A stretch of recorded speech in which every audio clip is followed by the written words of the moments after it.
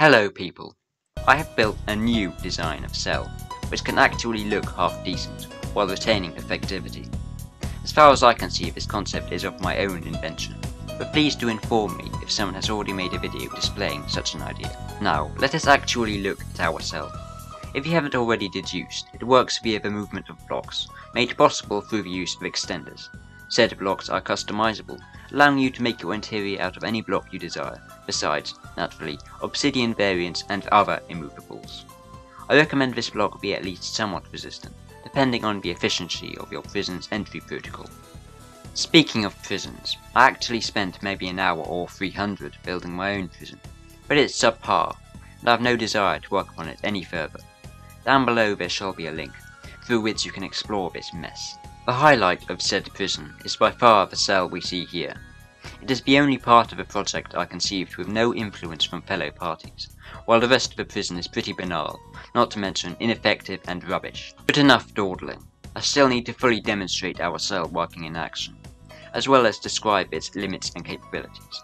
So, as we see here, every so often a segment centered within each wall will extrude, while a length below and above this segment shall extend upwards and downwards, respectively.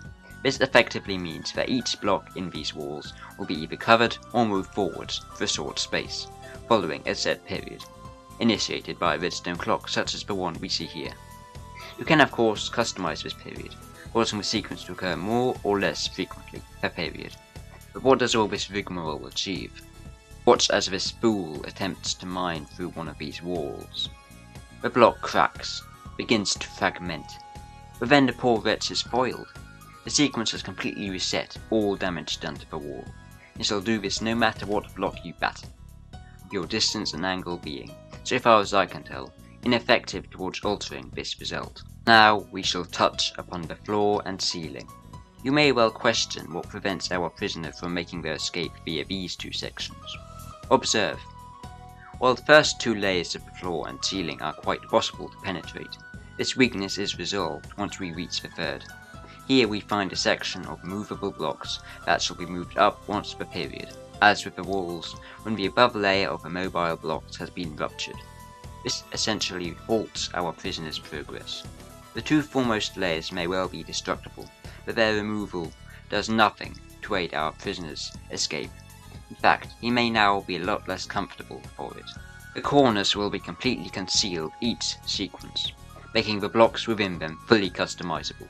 You can in fact place interactive blocks here, such as barrels, chests, and even musical boxes. You could also utilize wall space above and beneath the extending section here for a similar purpose. Before I round off this video, I would like to mention that this cell works best when the prisoner is stricken by mining fatigue.